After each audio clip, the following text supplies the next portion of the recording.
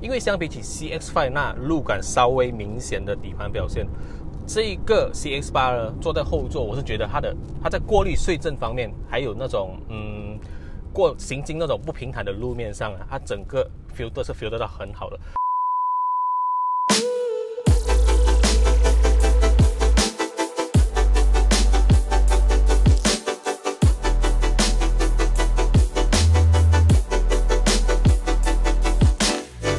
我国市场的 SUV 车型虽然众多，但是能够载着七个人的全尺寸 SUV 就不多了。Mazda Malaysia 在不久前就推出了一款全新的全尺寸七人座高端 SUV，它就是 Mazda CX-8。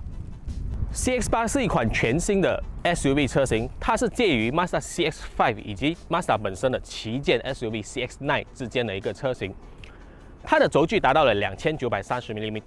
这是和 CX-9 一样的，没有错，它其实是基于 CX-9 的底盘打造而成，但是在车宽的部分，它又反而和 CX-5 很接近，所以严格上来说，其实它的身形是小过 CX-9 一号的。在外形上，我们可以看到 CX-8 它的整个前脸造型其实是和 CX-5 如出一辙的，但是它的这个大型的六角形水箱护罩里面的这个格栅设计呢，它采用的是一个横条式的设计，相比起 CX-5 的动感，它这样的一个设计反而多了一丝成熟。那在配置部分，我们今天试驾的这台顶级版车型，它的这个 LED 大灯是备有主动式调整功能的。虽然说车头和车侧的部分都长得很像 CX-5，但是来到车尾，这一个 CX-8 反而就长得和大哥 CX-9 有点相似了。其中我个人相当喜欢的是这个镀铬饰条的设计，它让这一台车看起来多了一丝优雅的气息。但是在下方部分，我们还是可以看到有双边单出排气尾管的造型，符合了 Mazda 一向来很喜欢强调的一个运动风格。在尾灯组部分，它其实和其他的 SUV 车型一样，都是采用一个立体式的设计，而这也是 Mazda 近期的一个家族式设计风格。这一台顶配车型，它拥有一个 SUV 必备的功能，那就是电动尾门。打开尾门，我们可以看到 CX-8 的尾箱容量，它达到了两百零九公升。将第三排的座椅折下过后，总容量则达到了七百四十二公升。我们今天试驾的这一台顶级版为柴油车型。它搭载的是一具熟悉的2.2 L 的 Skyactiv-D 柴油涡轮增压引擎，这具引擎可产生188 horsepower 的最大马力，峰值扭力则高达450牛顿米。除此之外，这个顶级版其实还有另外一个汽油车型，它搭载的是2.5 L 的 Skyactiv-G 自然进气引擎，这具引擎可产生192 horsepower 的最大马力，峰值扭力则为258牛顿米。这两个版本，它们搭配的都是同一具六速的 Skyactiv Drive 自排变速箱。值得一提的是，这一个柴油版本它其实是备有全驱系统的。在内装部分，原厂很巧妙的将 CX-5 的整个仪表板设计搬到了 CX-8 身上，大大减低了开发成本。那 CX-5 这个仪表板本来无论是在视觉还是触觉上的质感都已经相当的出色了，也符合 CX-8 的这个高端形象。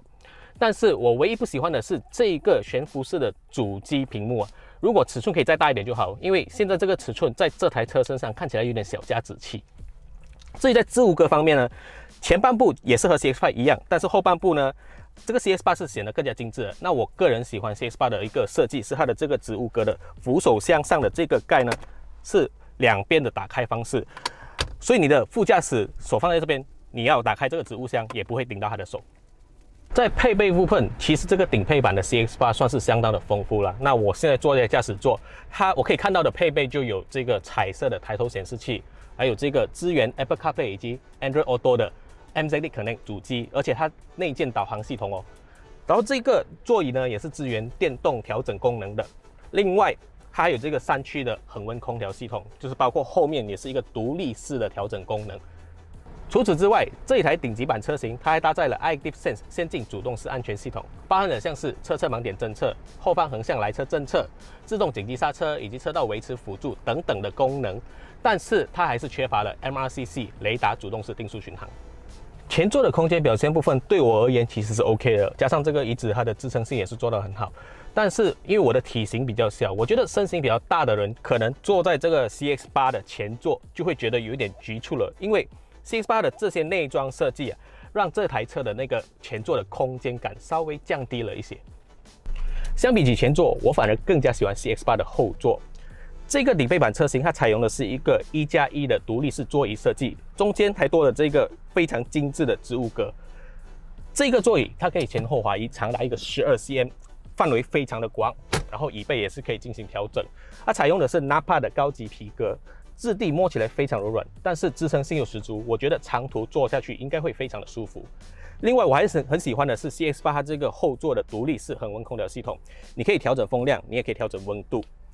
这个植物格非常的深，然后这里还有杯架，同时这个座椅还具有电动加热的功能，整个感觉是非常的商务味道的。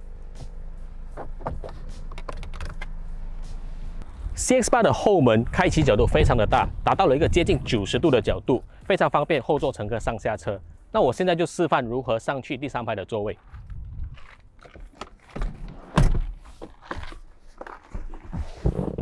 相当的方便，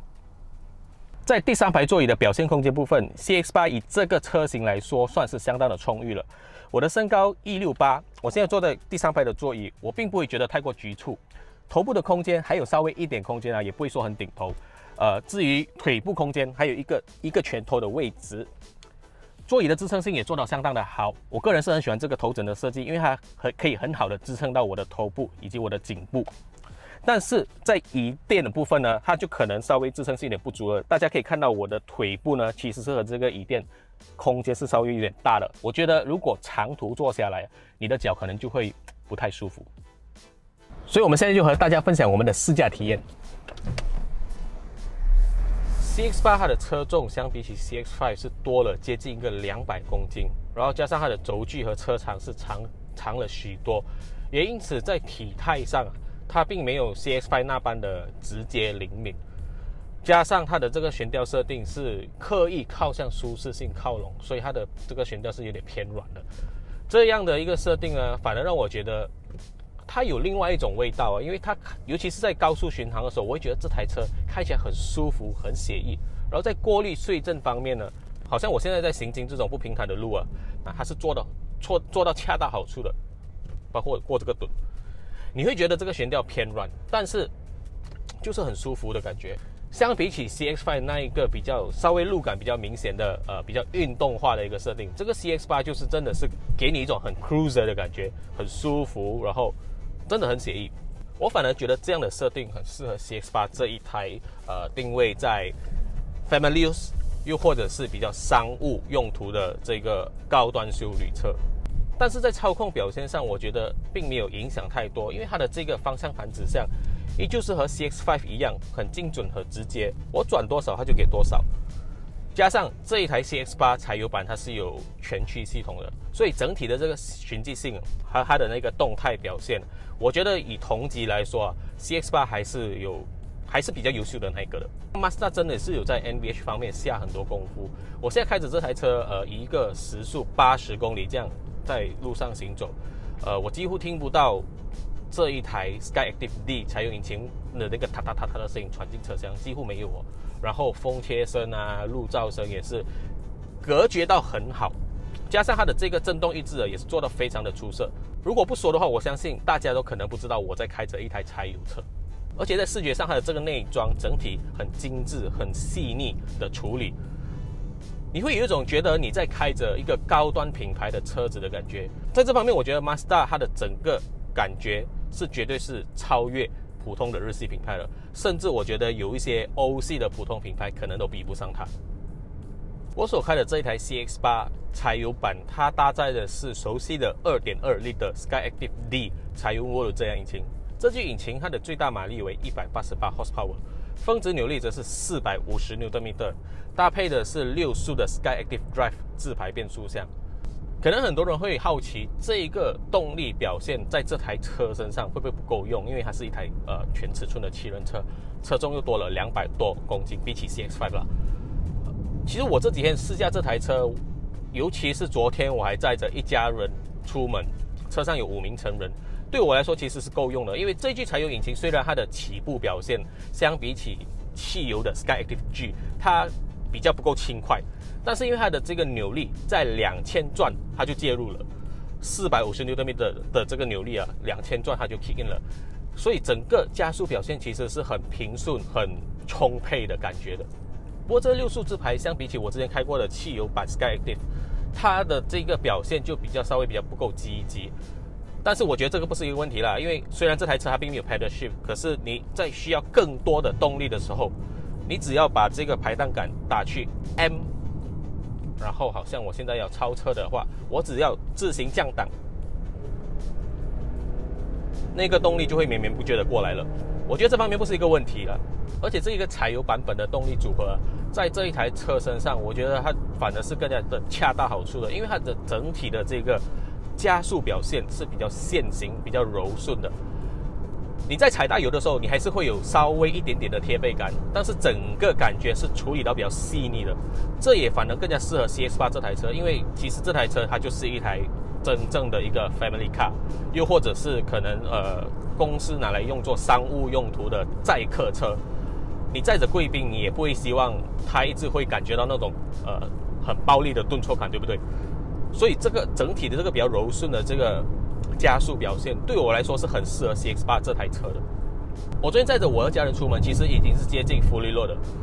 它并没有那种拖泥带水或者是拉牛上树的感觉，完全没有。因为它的这个四百五十牛顿米的 torque，其实我觉得你就算是完全 fully load，载着一家大小，你载满行李都好了。我觉得要拉动这台车其实没有问题的，因为这台车也才不到两吨。这一具柴油引擎的爆发力其实是有的，尤其是在高速的时候，我是觉得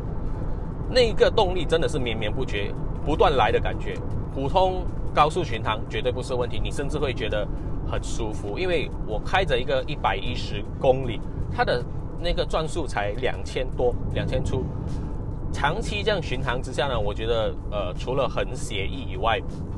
在油耗表现方面应该也是会很出色。但是因为我开的这一台试驾车呢是新车来的，我拿车的时候它的这个里数只有三十多公里。那我从 KL 一路开回来 JB，呃，现在的里数已经是六百多公里了，但是都还是算是一台还没有 run in 的新车。所以油耗表现方面呢，我加上我没有很斯文的开这台车。我现在查看这个油耗，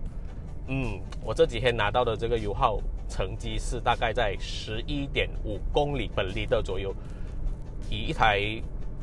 车重大约在千八公斤左右，我不大记得了，在千八公斤左右，然后又有全驱系统的七人车来说，我是觉得 OK 啦，因为这台车还没有 run in，我相信在 run in 过后呢，应该十五十六公里。本利的不是问题，而且还要是在比较不斯文的开发之下。如果你真的是乖乖的一直在一个一百一十公里这样定速巡航，两千多转，我相信搞不好十七、十八公里本利的都能达成。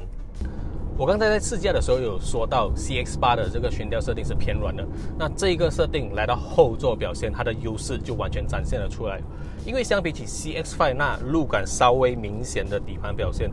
这一个 CX 八呢，坐在后座，我是觉得它的它在过滤碎震方面，还有那种嗯过行经那种不平坦的路面上啊，它整个 filter 是 filter 到很好的，会让后座乘客觉得这台车坐得很舒服。在舒适性方面，我是觉得它比 CX Five 还要更加好的。